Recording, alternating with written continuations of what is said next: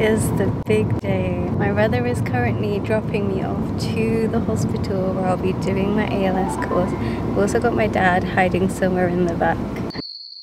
Oh, but you to somehow become invisible. I'm actually really excited about the course. I've managed to read this book and hopefully I've retained much of it. The feedback I've gotten from my peers is that it will teach us most of what's in this book and anything that's crucial and then we'll be assessed along the way rather than sort of wait until the end of the course in order to do a big assessment. I learn from the process of actually doing things and I'm a very visual learner so I'm really excited about learning in person. For the ALS course you can either do the EALS which is where they send you a bunch of tutorials to do online and then you go in for one day.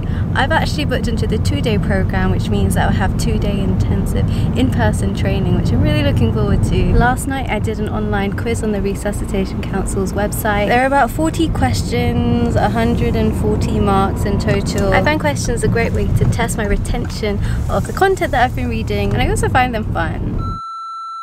Alright guys, I'm almost at the hospital, so I'll catch you guys in my break time in three, two, one. Another thing I wanted to quickly touch on is how I've been revising for this book.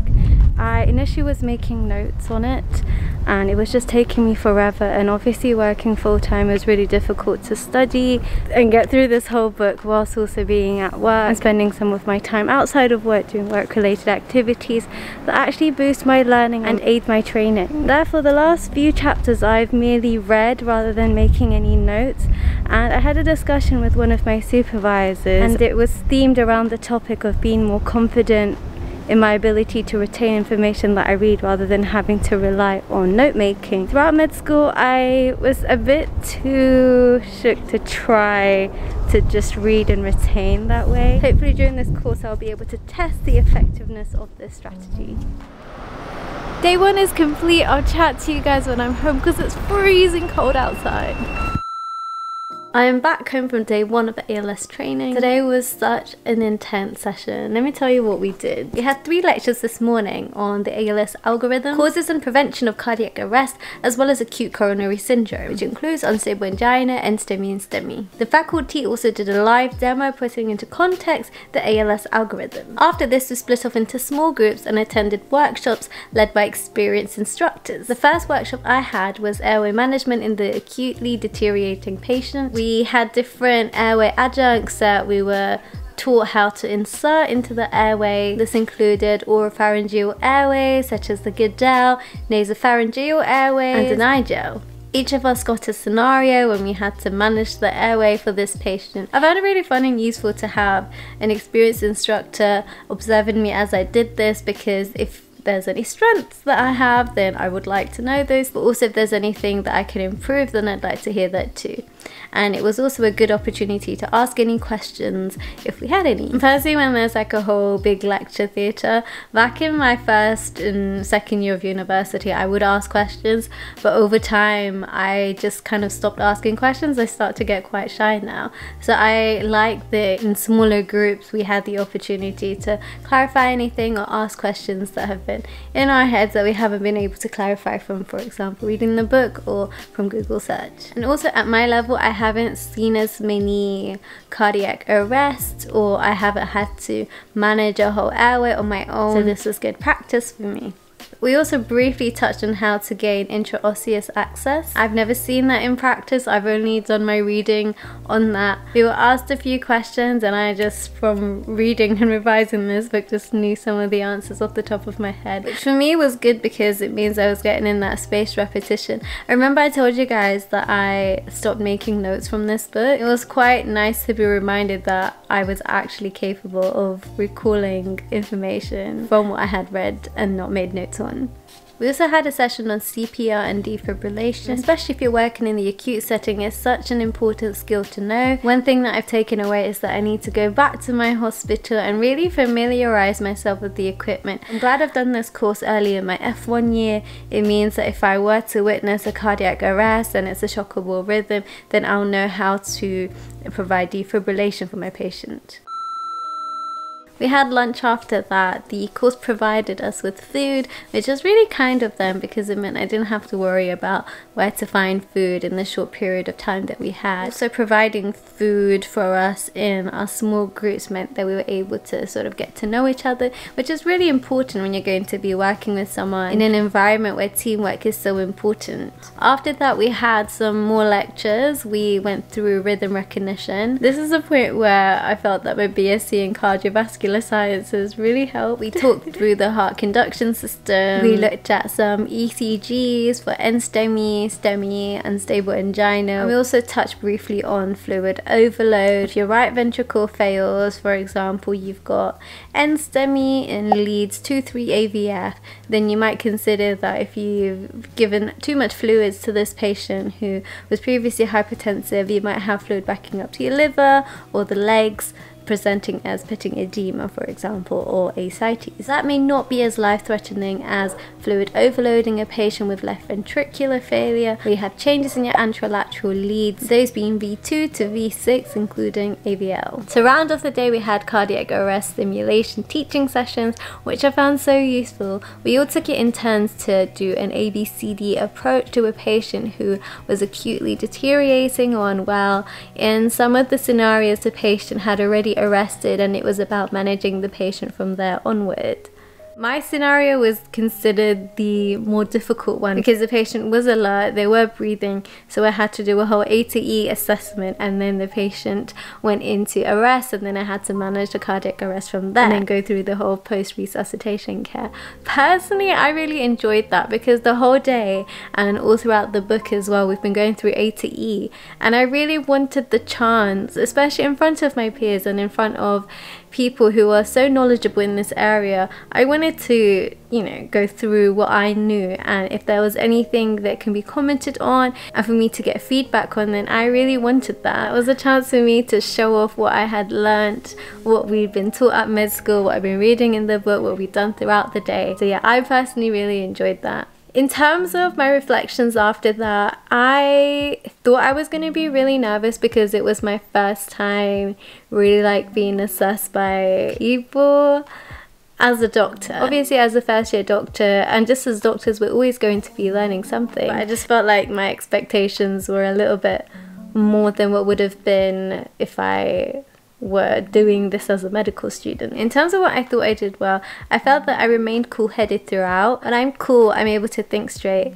And for that reason, I was able to, you know, recognize the rhythm, realize that it's shockable. Then it went to non shockable rhythm. So it was pulseless electrical activity. I identified that there was no pulse in the patient, the mannequin. What I did well was I followed the algorithm despite changing circumstances. Where I can improve is I can vocalize more what's going through my mind.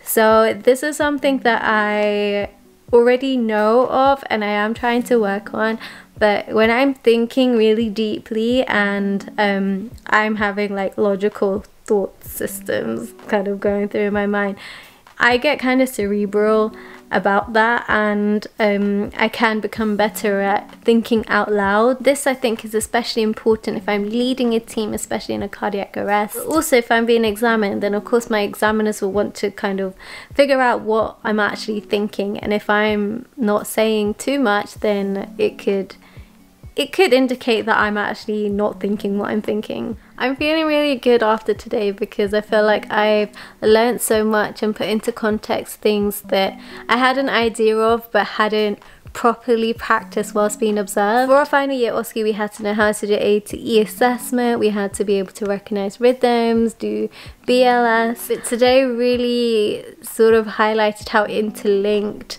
all of these different algorithms can be and in a real life situation how that might present. So I thought the scenarios were actually very realistic. For example, a patient might present their airway is compromised and whilst you are trying to make them better and carrying out a full assessment and adding treatments along the way, they could go into arrest and how would you proceed with that?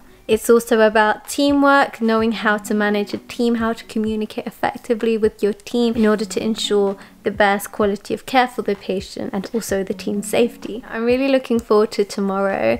We have something called Breakfast Club at the centre that I'm going to be at tomorrow. We'll start at 8 but you can come in a bit early if you wanted to.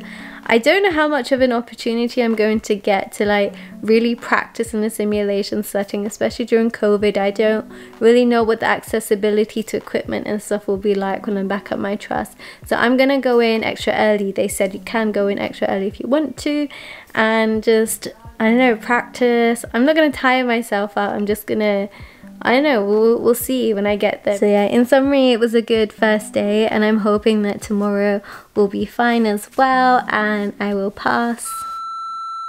It's not even 7.30 yet. I come in extra early so that I can practice some skills, I can help people out should they need that. And yeah, let's go. Guys, the course is done. I'm really tired. I'll see you in five, four, three, two, one.